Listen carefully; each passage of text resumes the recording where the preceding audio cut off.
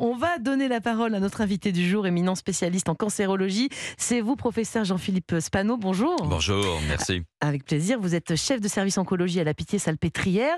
Alors, professeur euh, Spano, vous avez organisé il y a la semaine dernière hein, euh, le Congrès national de cancérologie à Paris. Euh, le but, c'était de réunir tous les experts français du, du, cancer et pas seulement. Il y avait des médecins, mais aussi des ingénieurs spécialisés dans l'intelligence artificielle. Pourquoi on a réuni tout, tout ce beau monde alors? Ben Parce que justement, le, le, on a essayé de réunir euh, toutes les, pers les, personnes, les professionnels impliqués, y compris les patients d'ailleurs, il y avait des associations de patients, euh, pour pouvoir échanger, euh, pour pouvoir mettre en place des collaborations et pour pouvoir effectivement répondre encore plus vite, comme mmh. l'intelligence artificielle, aux attentes de nos patients. Alors avant de voir ensemble toutes les innovations, on va donner quelques chiffres. Hein, pour commencer, mmh. professeur, à, com à, combien on estime le nombre de nouveaux cancers chaque année en France? Alors, euh, récemment, à peu près 380 000 nouveaux cas par an en ah France, ce qui représente à peu près 3,8 millions euh, de, de, personnes mmh. euh, concernées par le cancer en France. Et parmi ces 380 000 à peu près nouveaux cancers par an, quels sont les plus répandus? Je veux dire, aujourd'hui, en 2023, est-ce qu'on est toujours. Moi, je sais pas, j'ai un trio de tête euh, qui me vient, mais prostate, sein, poumon. Oui, c'est ça. ça? Plus colorectal. Ouais. Et puis, alors, ce qui est important aussi de préciser, c'est que euh, la mortalité quand même diminue. Hein. Mmh. Oui. C'est important de le, de, de, de, de le noter euh, également. Donc, en effet, pour l'homme, vous allez retrouver le cancer euh, du poumon, mmh de la prostate et colorectal. Mmh. Et chez la femme, il y a le cancer du poumon aussi je pense qu'on va en reparler peut-être tout à l'heure, le, le, cancer du sein et le mhm. cancer colorectal. Et euh, c'est un chiffre euh, qui, vous nous l'avez dit en préparant l'émission, est en augmentation, ces 380 000 nouveaux cancers. Pourquoi ça augmente? C'est lié justement à l'espérance de vie qui, elle aussi, augmente? Entre autres, mm. puisqu'on vit de plus en plus longtemps, heureusement. Et donc, euh, du coup, on a une plus grande... risque, on va dire un plus grand risque à développer effectivement un, un cancer, mais pas que. Mmh Pas que, il y a aussi euh, le, il y a eu des, études récemment qui ont démontré le mode de vie. Mmh euh, l'alimentation, bien entendu. Ça, ça s'est dégradé encore? Encore un tout petit peu. Mais les gens fument moins, non, pourtant ah, On essaye, mais pas encore. Euh, hmm. Autant qu'on le voudrait, en effet. Et vous soulignez un, point important qui est la prévention. Voilà, justement, j'étais en train de me dire, si ça continue d'augmenter, c'est-à-dire le nombre de nouveaux cas, euh, vous avez dit, oh Dieu, enfin, heureusement, euh, la mortalité, elle baisse, des cancers en général. Mais si ce nombre de nouveaux cas ne cesse d'augmenter, c'est alors ça veut dire quoi que, par exemple, tous les dépistages organisés qu'on fait aujourd'hui sur le cancer du sein, le cancer colorectal, enfin voilà, il y a des, choses hein, qui sont faites quand même. Ça ne suffit pas, en tout cas, à endiguer des nouveaux cas? En fait, il ne faut pas confondre prévention et dépistage. Mmh. Mmh. S'il y a une augmentation du nombre de nouveaux cas, c'est parce qu'aussi on, on, les dépiste bah, de plus en plus. On ne les aurait pas vus à d'autres époques Exactement, bravo, c'est exactement on ça. Nous disait, vous êtes mort d'une vieille, mmh. d'une longue maladie. Quoi, exactement, ou, on n'atteignait pas un âge aussi, effectivement, euh, qui permettait euh, de d'être à un risque un peu plus supérieur de développer effectivement un, un cancer. Donc ça, c'est le dépistage. Au contraire, alors peut-être qu'aussi le nombre de nouveaux cas qui augmente est peut-être aussi lié hein, euh, en partie à ce dépistage, puisqu'on diagnostique de plus en mmh. plus euh, de cancers, mais à un stade de plus en plus précoce. Et la malbouffe, la malbouffe, euh, vous en parlez. Hein, ah pour vous, c'est le c'est le cœur du un des cœurs. C'est un des cœurs. C'est démontré scientifiquement vraiment que ça peut augmenter le risque de cancer. obésité, mmh. euh, bah, euh, les campagnes qu'on a fait sur manger des fruits et des légumes, 5 fruits et légumes par jour, c'est justement pour mettre en exergue le fait qu'il faut manger des fibres en fait. Mmh. Peut-être un peu moins de viande rouge, certains disent, mmh. effectivement, qui, qui, qui, qui, qui peuvent alors, ce qui peut abîmer aussi, c'est le microbiote, vous savez, qui est dans le ah, tube digestif. Il, faut surveiller son microbiote? euh, il y a des grands experts dans le monde, euh, donc en particulier en France, qui s'intéressent au microbiote et qui mhm. pourraient être, en fait, notre malbouffe, comme vous dites, euh, pourrait être responsable d'une modification de ce microbiote. Ah, très bien. Merci à vous, professeur. On va poursuivre dans quelques minutes cet éclairage sur les innovations en cancérologie. Les bonnes nouvelles à venir pour toujours mieux soigner les patients et notamment grâce à l'intelligence artificielle. On va vous expliquer comment tout ça fonctionne. Alors, à tout de suite sur Europe 1. Europe 1, bien fait pour vous. Mélanie Gomez, Julia Vignali. Bien fait pour vous, nous sommes toujours en direct avec vous. Si vous nous rejoignez, sachez qu'on s'intéresse aux bonnes nouvelles en matière de cancérologie, au progrès, parce qu'il y en a pas mal. Et on en parle avec l'un des meilleurs experts français, le professeur Jean-Philippe Spano, chef de service oncologie à la Pitié-Salpêtrière. Alors on va voir à présent les grandes avancées concernant les traitements contre le cancer. Euh, il y a du nouveau, par exemple, concernant le cancer du poumon, avec de nouvelles thérapies ciblées. Comment ça fonctionne? Alors, c'est nouveau, mais c'est aussi euh, une preuve que le, concept existe. C'est-à-dire qu'en fait, les thérapies ciblées, sont, on les connaît depuis à peu près une vingtaine d'années. En fait, on identifie une cible, comme mhm. son nom l'indique. C'est-à-dire que ça peut être une protéine, une substance, ça peut être un gène, et euh, qui est donc anormal, ce qu'on appelle une mutation. Et on va essayer, en fait, euh, d'annuler l'effet négatif de cette mutation qui est mhm. responsable du développement de la division des cellules. Vous n'annulez pas la mutation, mais vous annulez les effets délétères, c'est ça? Absolument. Voilà. Et donc, du coup, si vous voulez, le, la cellule n'a plus son point clé pour pouvoir se diviser. Mhm. Donc c'est ce qu'on appelle le, concept de la thérapie dite ciblée. Et avec ce traitement, on donne une réelle chance de survie aux patients qui ont un cancer du poumon. On en est où à ce stade? C'est peut-être encore que des essais cliniques, je ne sais pas. Est-ce que ça fonctionne sur tous les types de cancers de poumon? Parce qu'il y en a plusieurs en plus. Absolument. Alors ça ne fonctionne que sur les patients ayant un cancer du poumon avec cette mutation, avec mhm. cette anomalie donc euh, génétique. Et donc c'est à peu près euh, pour ce qui est justement de cette mutation qui concerne le GFR qui est un récepteur à la surface des cellules cancéreuses, ça concerne à peu près 10 à 15 C'est déjà ça. C'est déjà ça. Mmh. Mais la grande avancée là, c'est une confirmation. Non, c'est plus un essai thérapeutique. Mmh. L'essai est confirmé avec un recul suffisant que ça fonctionne. Mmh. on opère, on enlève la tumeur. Si la tumeur effectivement a cette anomalie, on donne un comprimé à la patiente ou au patient euh, pendant quelques années et on, bien entendu on améliore mais de manière euh, significative ce qu'on appelle la mmh. survie de ces patients. Alors il y a un autre euh, moyen d'éradiquer les cellules cancéreuses, c'est l'utilisation d'anticorps monoclonaux conjugués. Alors il faut nous expliquer de quoi il s'agit. Vous comparez ce traitement à un cheval de Troie contre le cancer. Ah oui, ça c'est un nouveau concept qui est, qui est, vraiment, pardonnez-moi l'expression, génial. Mmh C'est-à-dire qu'en fait, au lieu d'utiliser une, euh, de la chimiothérapie, un médicament qu'on va injecter, en fait, vous utilisez un anticorps qui va porter cette molécule de chimiothérapie comme s'il jouait le rôle de vecteur. Mhm. Et en fait, il va aller repérer à la surface de la cellule, euh, donc un récepteur. L'anticorps va se poser Mmh. et il va rentrer dans la cellule. Et en rentrant dans la cellule, il a planqué avec lui, grâce à, un petit lien, la petite molécule de chimiothérapie. Et donc, du coup, la molécule de chimiothérapie est libérée dans la cellule, détruit le noyau et la cellule. Bazooka. Ouais, C'est génial. C'est beaucoup plus ciblé, quoi. Exactement. Mmh. Et donc, du coup, vous ciblez plus spécifiquement les cellules cancéreuses parce qu'elles portent le récepteur et que l'anticorps c'est fixé dessus. C'est pour ça que j'appelle ça un, cheval de Troie. Ah ouais, mmh. c'est très efficace, très ingénieux. Mais alors en plus, je crois que l'autre avantage de ces traitements-là, c'est qu'il y a moins d'effets secondaires, hein, je crois, pour eh les patients. notre objectif et l'objectif des chercheurs, c'est d'essayer, bien entendu, de gagner en efficacité, mais tout en préservant la qualité de vie et diminuer les effets secondaires. Donc en mmh. ciblant, en normalement, vous diminuez les effets indésirables. Alors peut pas toujours, bien entendu, les mmh. éviter, ça c'est clair. Mmh. Oui, mais parce qu'on a tous en tête effectivement les effets, notamment de la ah chimiothérapie, qui sont terribles. et effectivement, voilà, si on peut éviter au moins quelques effets.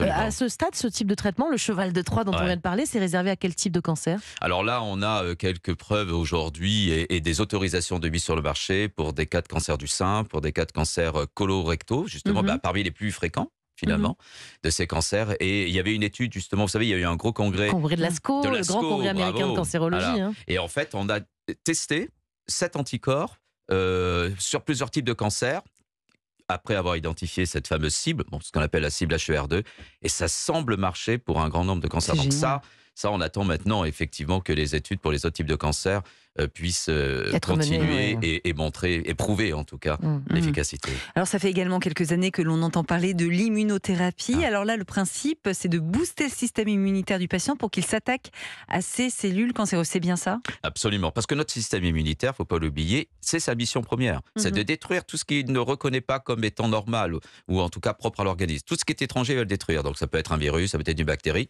et une cellule cancéreuse. Mhm. Donc le but, là, c'est de stimuler notre propre système immunitaire, là encore une fois en utilisant des anticorps. Et c'est ces cellules, des globules blancs, mhm. tueuses, qui vont aller détruire directement on donne des armes en fait, c'est ça En stimule en même temps. C'est super, on voit que l'arsenal thérapeutique est, de plus en plus varié. Donc l'immunothérapie, j'y reviens. Alors on sait aussi qu'avec ce traitement-là, quand ça fonctionne, ça peut fonctionner très bien, mais ça marche pas sur tous les cancers. Vrai. En revanche, ce qui est étonnant et que ce qu'on peut peut-être expliquer aux auditeurs d'Europe 1, c'est que ça peut marcher euh, aussi bien sur un cancer du sein que sur un cancer du poumon. Comment ça se fait comme ça que c'est un même traitement entre guillemets pour des cancers très différents? Parce que là, vous stimulez le système immunitaire et comme je dis, le système immunitaire, il fait pas de différence. En fait, normalement, s'il est efficace, il doit être efficace pour tout. Alors en revanche, ce que vous dites, c'est très important. Il faut relativiser. C'est-à-dire que l'immunothérapie est une, est une très belle évolution thérapeutique, une nouvelle stratégie euh, aujourd'hui qui a fait ses preuves, mais elle n'a pas fait ses preuves pour tous les types de cancers. Et pour un type de cancer ou en général comme le cancer du poumon, là encore une fois, euh, ou des, cancers de mauvais pronostic comme le mélanome, où ça marche, ça marche pas non plus tout le temps. Mhm. Et il faut le reconnaître aussi. Alors il y a des virus hein, qui peuvent provoquer des cancers. On parle de plus en plus des papillomavirus.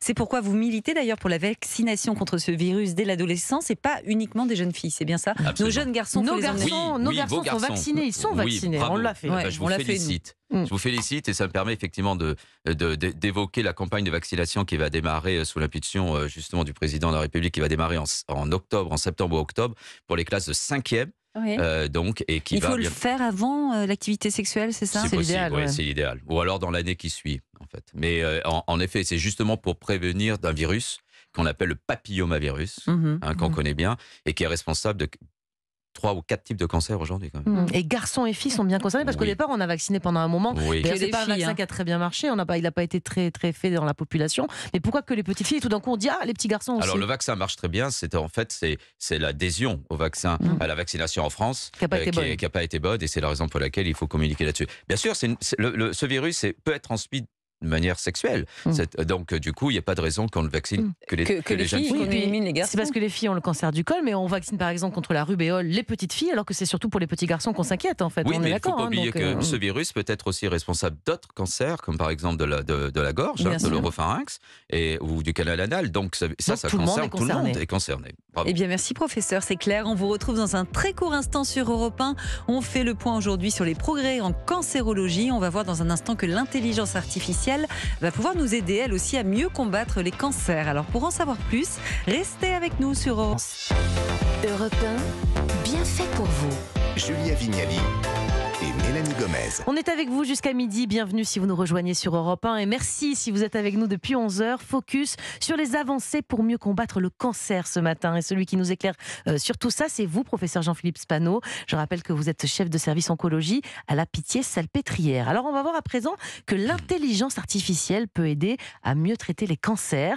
Alors là, il ne s'agit pas, je le disais tout à l'heure, de ChatGPT dont on parle beaucoup ces derniers temps. De quoi on parle quand on dit intelligence artificielle en médecine? Bah, en fait, l'intelligence artificielle, c'est l'utilisation d'une machine. Alors, ça peut être un ordinateur, comme ça peut être un robot, mhm. et qui permet d'analyser plus rapidement que l'homme, euh, en fait, des données. Voilà, mhm. donc de raisonner, de planifier, euh, euh, donc, et donc de produire peut-être aussi des algorithmes plus rapidement que l'homme. D'ailleurs, vous avez, je crois, l'histoire d'un patient atteint d'un cancer du rein qui a pu être traité à temps grâce à l'intelligence artificielle. Alors ça, c'est une expérience qui a été rapportée par Sarah Watson de l'Institut Curie. Mhm. Alors, je tiens quand même à préciser que lorsqu'on fait un diagnostic de cancer, hein, l'anatomopathologiste, c'est-à-dire la personne qui va examiner la, biopsie, les lames, euh, joue un rôle essentiel. Mmh. Euh, l'intelligence artificielle n'enlèvera pas euh, quand même le mmh. rôle humain joué par les professionnels. Ça, c'est important.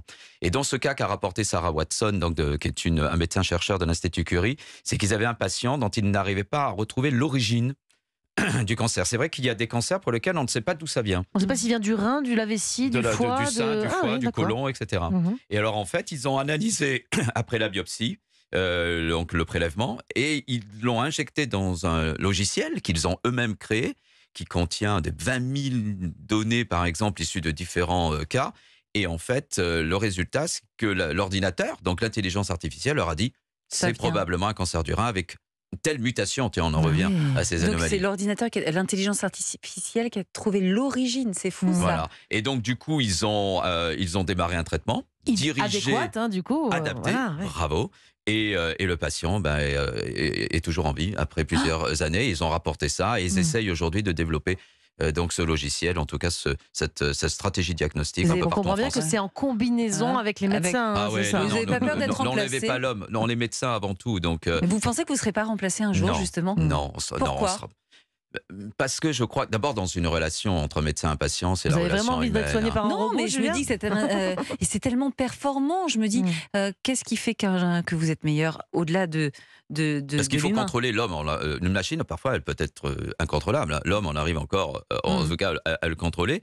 Mais en fait, ça va plus vite sur, sur des stratégies, ça mmh. peut faciliter les choses. Des prises, de décision. Et puis l'homme, il écoute le patient en face. Et, le patient en face, il voit qu'il n'est pas en état là, de recevoir, je ne sais pas, la deuxième dose de chimio. Il va dire on patiente un peu. Le, repos, le robot, il ne pourra pas voir ça. On est bah, d'accord Exactement. Et puis, je veux dire, encore une fois, surtout dans le domaine de la cancérologie, la relation mmh. humaine, l'empathie c'est pas l'ordinateur ou le robot qui va nous, qui va pouvoir l'exploiter. Ah ben non.